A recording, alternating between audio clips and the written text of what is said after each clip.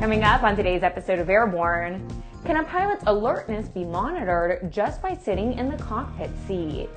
Measuring a rocket's temperature could help us go to Mars. And Lighthawk flies to save endangered porpoise species.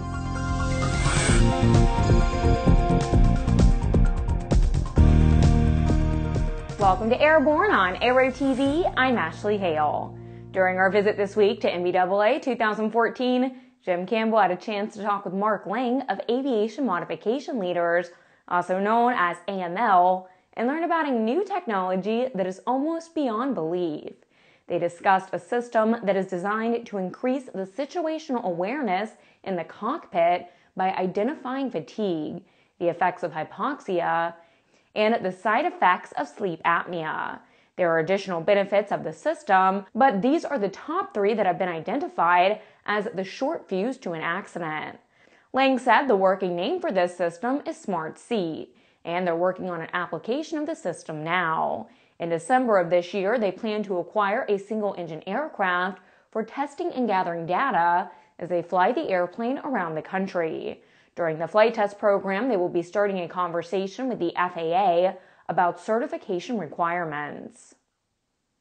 NASA has captured thermal images of a SpaceX Falcon 9 rocket on its descent after it launched in September.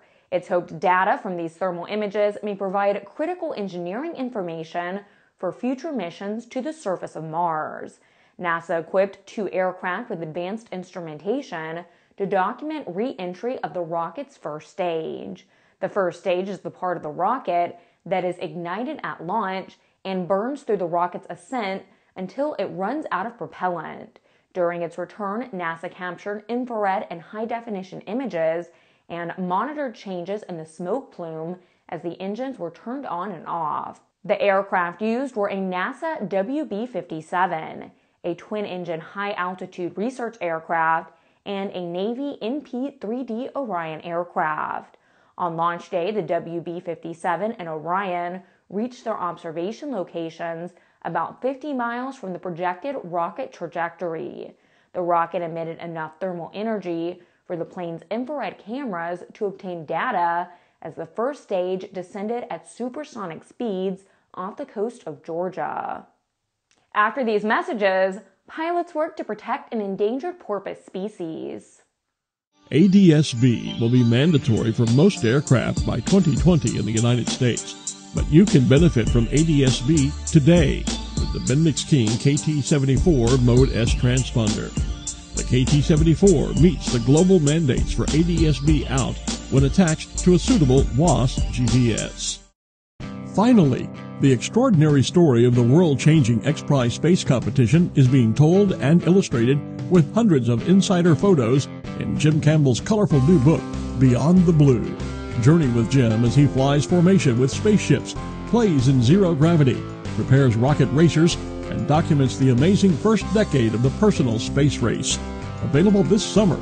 Get your advance order in now by checking out www.kindredspirit.com. Welcome back. If you'd like to be a supporter of Airborne, send an email to jim at aero-news.net. The nonprofit conservation group known as Lighthawk will begin flying monthly aerial surveys of the northern Gulf of California to save the critically endangered vaquita porpoise, whose population currently stands at approximately 97 individuals. The International Union for Conservation of Nature has listed this porpoise as critically endangered and says immediate action is needed to prevent extinction. The biggest threat to the vaquita is commercial fishing using gill nets and trawlers.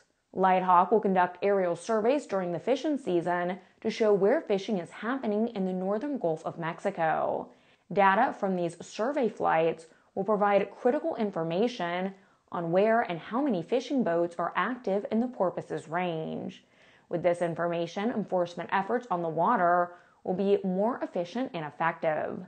Lighthawk leverages a network of more than 200 volunteer pilots who provide flights each year to help conservation groups achieve their conservation strategies.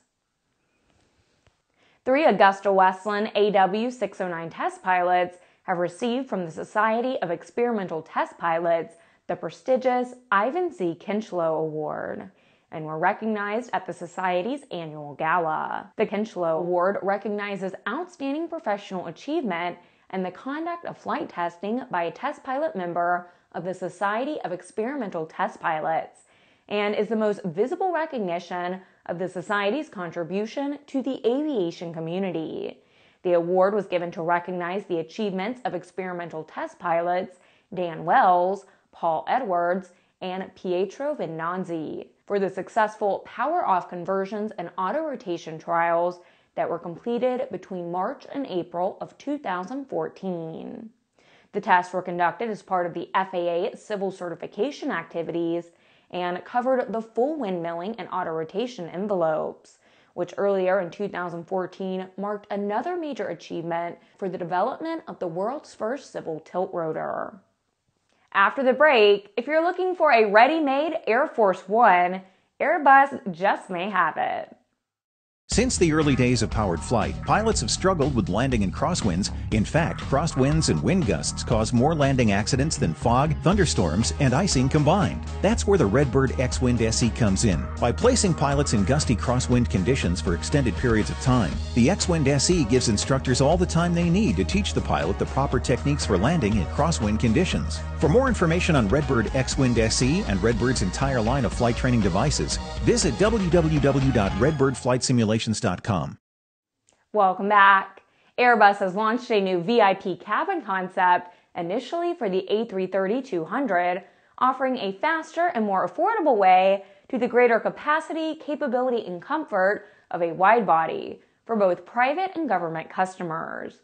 Called Summit, the concept features a VIP section at the front of the cabin and airline style seating at the rear. The Airbus ACJ 330 Summit Features a bedroom with in-suite bathroom at the front, followed by an office, a conference and dining room, and a working area, and then airline style first class and economy seating at the rear.